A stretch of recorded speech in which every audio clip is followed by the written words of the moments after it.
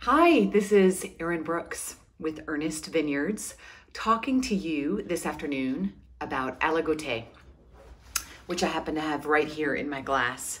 Aligoté, um, some say, is a better conduit for terroir than the beautiful world famous Chardonnay. And not a lot of people know about Aligoté because it is, in fact, um, the sister that never really got to leave the castle in France.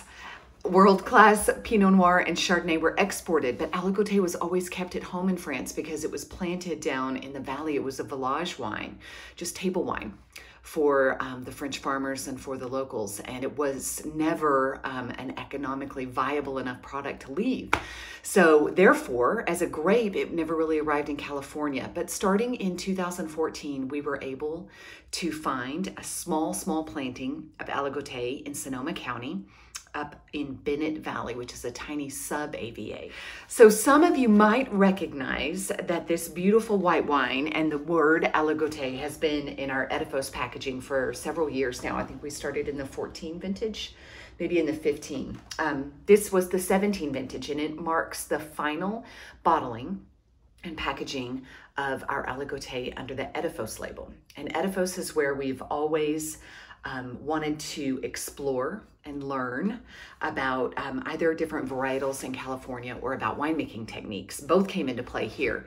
We definitely explored concrete, stainless steel, whether or not oak barrels were appropriate, etc., over all the years. And um, in the 2018 vintage, with the addition of Joseph Ryan to our team as winemaker and partner in our company, he was able to graduate the Aligoté through its elegance and its finesse. Now you can see I have this beautiful condensation on this bottle. It's been out of the fridge here for a couple of minutes. But this is the um, aviator in the Ernest bottling of our Aligoté.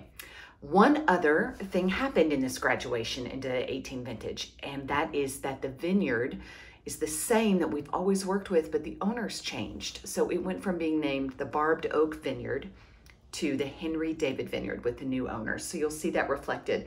But just know for you enthusiasts who are following along with our Aligoté production that it is in fact the same site. It's the very same plantings, just has new ownership. So kind of a nice dovetail, if you will, for with the new packaging and the graduation to the Ernest label, we were also able to capture this new vineyard name. I um, love the fact that underneath our Ernest label, which is all about our single vineyard Chardonnays and Pinot Noirs, and sometimes we refer to it as our Burgundian label, that we have been able to graduate the third grape of Burgundy to it. It is a gorgeous white wine. I'll let Eugenio tell you more about the tasting notes, but um, until then, I hope you can enjoy it in your home, and cheers. Joseph Ryan, Ernest Vineyards here. Uh, today we're talking about Aligoté. Uh, this particular vineyard is in Bennett Valley, which is a small valley um, along with some hills that is southeast of Santa Rosa, uh, Sonoma County. It is um, an alluvial, uplifted alluvial benchland, so I think rocks, uh, stones, kind of like uh, riverbed, but it's up at elevation uh, with clay and volcanic subsoils. Very well drained in the top um, surface, which these grapes love. Um, it's, it's uh, we're working with Calera clone on this, which is a really um, special clone that comes from Hollister, uh, from the famed Calera vineyard there.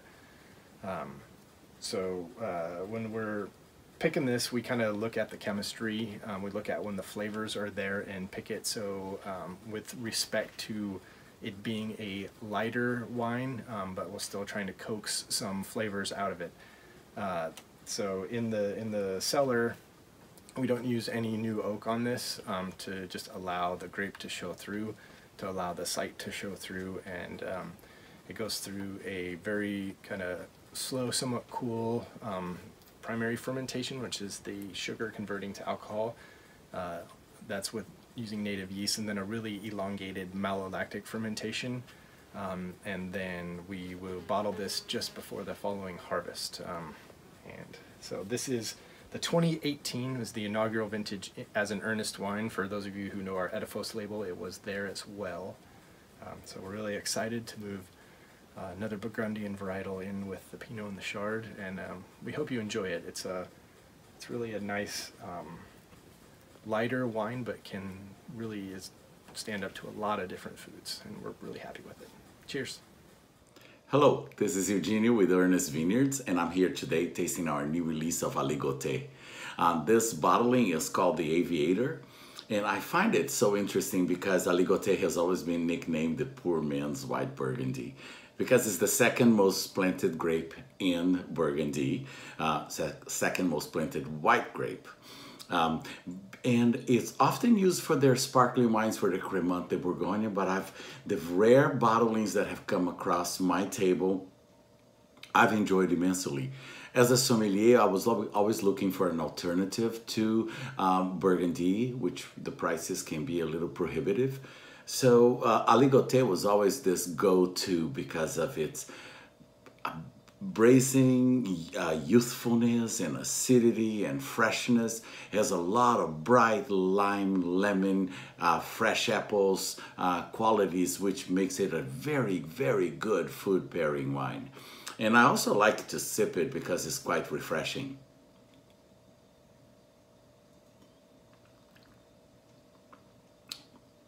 Delicious. It's a typical. It's a typical grape variety that is um, suited for cold weather. Uh, reason why it's planted widely over uh, Eastern Europe. There's almost none to be found in California, and very little in the New World altogether. So, I highly recommend the Aviator Aligoté as a great classic example of the grape variety. Cheers.